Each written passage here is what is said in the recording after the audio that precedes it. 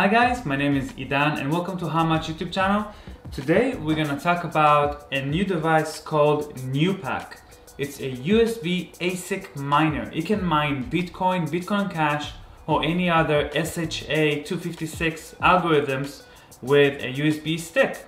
This is actually a new version of the 2Pac. 2Pac is the older version of the USB miner. It used to be sold for about 30 bucks. And the difference is, is the chip. The chips inside, this one specifically, the new one is from the S9, the Antminer S9. There's two chips in here. And in the old one, in the 2Pac, it used to be from the S7. So this one has a lot more efficiency and a lot more mining power. Now before we even start talking about this USB miner, I have to mention that you will not get rich from this. This is a learning tool or device where you can learn how to mine, what does it mean to mine, and you know how much does it make, what about power. You're gonna learn all those things by buying one of those. This it's not really designed for you to make a lot of money. You know, if you even if you overclock it, it's it will take you many many years to pay this off. I still think it's a really cool device to start getting into cryptocurrencies, especially now that Bitcoin is going up way up like crazy right now. Uh, highest it's been in, in over a year. Now I'll show you how to set up one and multiple USB devices and how to set it up from scratch. So how to download it, uh, download the software and start running this thing. It's actually a lot simpler and easier than you think. I've been mining for a very long time and I had the S9 and I mine all kind of different machines and this one is always fun to use because it's so small and so easy. You can just plug it into almost every USB port on a computer, Raspberry Pi or Linux machine and you can just start mining right away, which I like a lot. In the title, I actually said that this NewPac Gecko Science USB miner has the power of thousands of computers. And I actually mean it. What I have here is my R4 Alienware 17 inch with a GTX 1080 and a 7820 i7 CPU. And even though this computer is a beast, it can still cannot do even slightly as much power when it comes to mining as this. And this is because the ASIC chips that are inside they're designed to specifically mine cryptocurrency that is Bitcoin, Bitcoin Cash, and so forth. And they don't do anything else. It's not useful for anything else. It, but the computer can do multiple things, right? It can run Photoshop, it can run games, and run Chrome or whatever. But this cannot do any of this. It can only mine. So this is why it's so powerful, and it's thousands of times more powerful when it comes to mining cryptocurrencies. So the first step to set up the Gecko Science 2Pac is actually plug it into the computer. Make sure you have a strong port. Um, no, any regular USB port from a PC would work, but weak ones will not let you overclock by much or might affect your hash rate or your mining rate. So once we plug in the USB miner into our computer, the next step is to download two different softwares.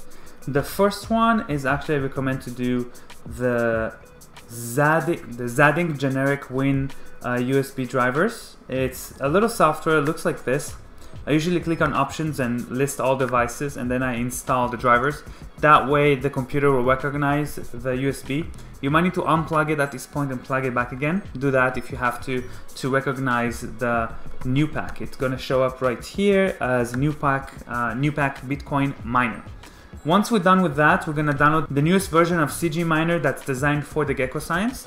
So that's the file right here inside bitcointalk.org conversation that I will list below. I will give the link below for that specific forum post. So you have all that info available for you. And seriously, you're ready to go. From there, you just have to unzip that file, that GekkoScience CG Miner file, click on test mining, and for no report. And that's about it. It will start mining right away. Now it's mining with one stick or multiple sticks. And I'll show you how to mine with multiple sticks. It's as easy as mining with one. So here we go. I had to restart the thing and now it's mining. As you can see right away, it mines at about, it will go to about 20 uh, gigahashes on the stock 100 uh, megahertz clock speed. That's like the standard, that's not overclocking. It'll do 20, 22 gigahashes per second for mining uh, Bitcoin or Bitcoin Cash or SHA-256 type of algorithms. And I'll show you later how to calculate how much money it makes. But now let's set up something more interesting. Let's do, um, let's now change it so we actually make money uh, from this and not just not gonna go to around the person. So you have to change the Stratum address. You can find that address and register to get one on any pool. I like using Antpool because it's so easy to use it and it's free. You just log in, whatever, register, and then we're gonna just copy one of those addresses in there and we're gonna replace it with the standard one that they give you with it. Now, once we place that, we can choose our user as well. This is my user for uh, my specific account, so then I get the cryptocurrency and nobody else. So you change that as well, and then you put dot, and then the sub user can be anything. Um, I'll leave a link below, a little more details on how to mine and uh, more details on how it works so you understand it. This is a, a more basic uh, tutorial on how to start mining right away. The next step is to actually add a frequency. You can actually edit the frequency yourself which is kind of cool. We just add this little line here. I'll also add it in the description. And 100 uh, megahertz is the standard one. It can go high, like two, 300. But remember, we don't have any cooling to this thing. It just has a little metal cooling, right? But it doesn't have any fan or anything. And it will overheat. Even if, if it's a hot room, in stock uh, clock speed, it might overheat. So cooling is always recommended to do. If you're just running one, maybe it's okay to do standard clock speeds, but no cooling. But if you're running multiple ones, or you're overclocking them, which hiring up the clock speeds, then you're gonna have to have some cooling, some fan attached to it. Let me show you guys a setup that I'm gonna do with and without the cooling. So here's the setup for six of them without cooling and they'll probably be okay with stock uh, speeds with stock clock speeds. And what I did here is use actually the GekkoScience hub as well. It has 8 USBs and it supports high power USB 2.0 to give that power that you need for overclocking. But this will also work for regular clock speeds. And we have one plug here from our power supply. It's a 1000 watts way overkill. You probably only need about 100 watts something like that for this kind of setup overclocked um, but it's always nice to have a little bit extra power. This is just for experience. Almost any power supply would work that gives at least 100 watts. And now what we need to do next is just to plug in that USB plug to our computer. And now we can run the software exactly the same. Let me just turn it on right here and show you guys. Here it is, I'm starting the miner and now it detects, you can see all of them right here and again they're stock clock speeds so they're gonna do about 20 22 um, gigahashes each and for a total of about 100 to 130 uh, gigahashes as average. Um, that's with clock speeds. But now, if we want to overclock it, what are we going to do? This thing is going to get way too hot for overclocking. So let me show you what I'm going to do. I'm actually, you know, go ahead. I'm going to stop this miner for now. And uh, for now, turn off the power supply. Okay. Turn off the power supply and what I'm going to do now is actually remove two of the USB sticks gently.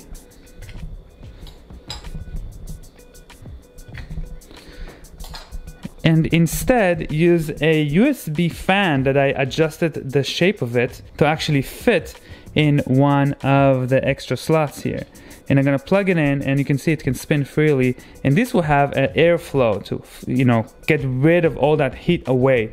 And now I'm open up for some overclocking possibilities okay? So I'm gonna go ahead and turn it back on.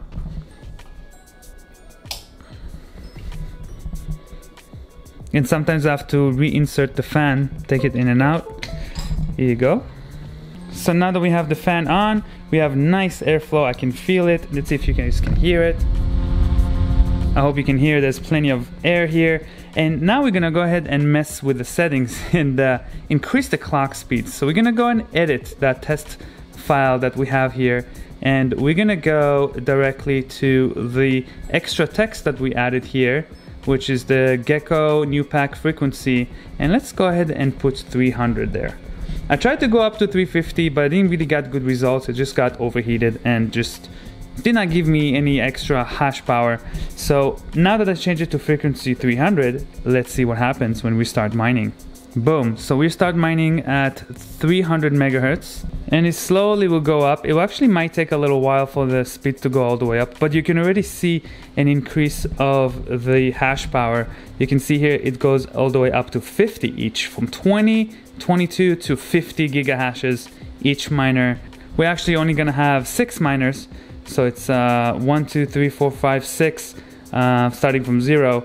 Six miners running at 50 gigahashes each and total right now is about 270 gigahashes but let's give it like uh, 15 minutes and see what kind of hash rate we're gonna get all right so we've been mining for a little while and it seems like the average is about 370 380 gigahashes per second for that six uh, GekkoScience overclock all of them overclock so that's about 6 to 70 gigahashes each now i'm already starting to see the results and i even made a little tiny bit little bit of Bitcoin Cash. So I have a, I have a Bitcoin Cash set up here.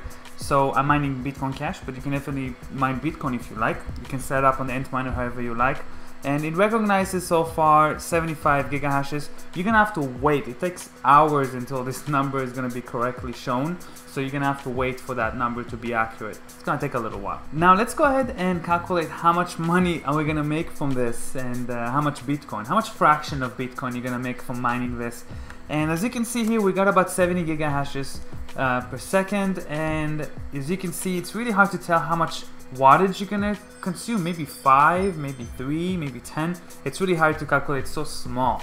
Uh, pretty much very negligible number. We're gonna make a dollar per month each, which means about $11 per year. So as you can see, that's gonna take, you know, five years for $499.99 uh, device like this to pay itself off.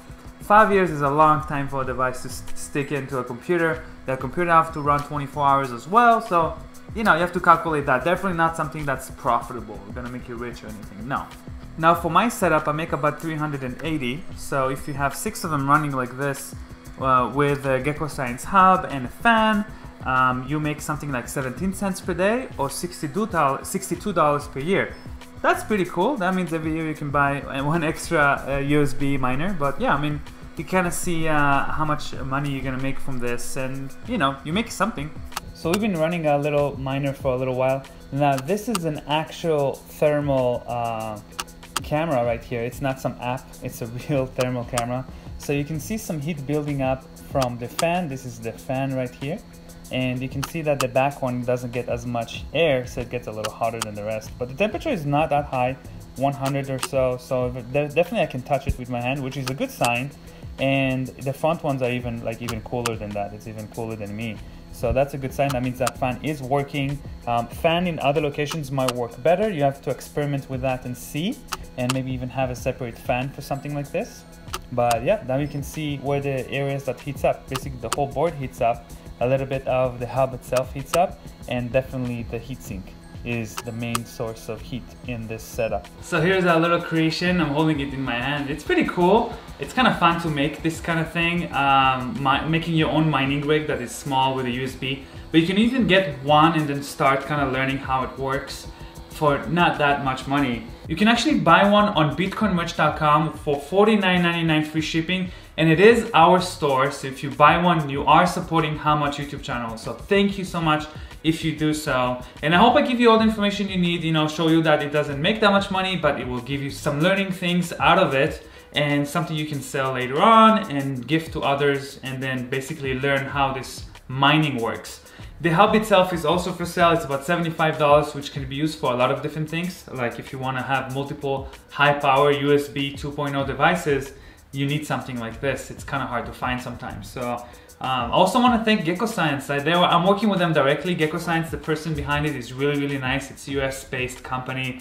and it's really nice to work with real people from America, you know? So I appreciate you always supplying this for me, for my customers, and people seem to be really enjoying them. If you're getting one, you also can email me if you have any questions on how, how to use it, or if you have any problems, I can give you some technical support a little bit on uh, how to start your mining experience and mining for me was a big deal back then. I had so many machines running at the same time. Now it's not very profitable unless you spend thousands on machines and that's very risky. So maybe it's better to start small first to learn how this works and then go for the big stuff. after you understand the concept and how it works. Today's sponsor is Ainope battery packs. They're from Amazon. It has 10,000 milliamp battery you can charge it with micro USB and USB Type-C. It has two USB outputs, so I can use one for my iPhone, another one for my camera. This is a very useful USB device, and thank you guys for sponsoring my video. I will leave a link below to buy one on Amazon if you need a battery pack like this.